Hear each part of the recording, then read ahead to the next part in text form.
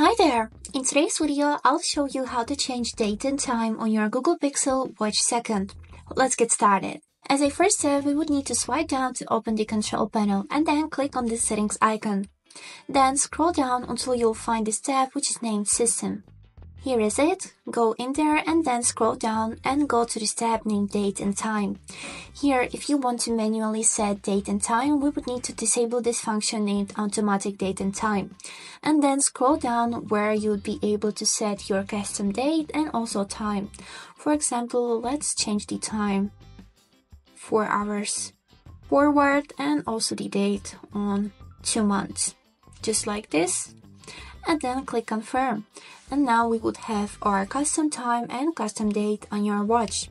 If you would like to switch everything back like it was before, we would need to go to the settings again to the same tab system and also date and time. And here simply enable this function named automatic date and time and everything will be like before.